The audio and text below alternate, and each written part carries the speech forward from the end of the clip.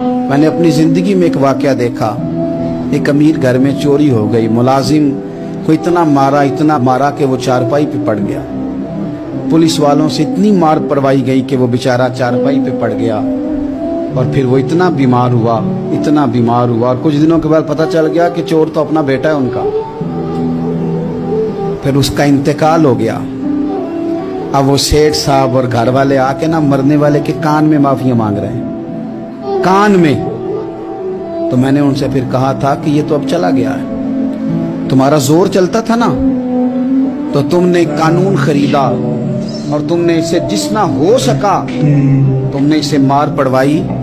तुम्हारे पास जो अदालतें थी, तुमने वहाँ कार्रवाई की। अब एक अदालत कयामत के दिन लगेगी। ये कमज़ोर था ना? कुछ कर नहीं सका।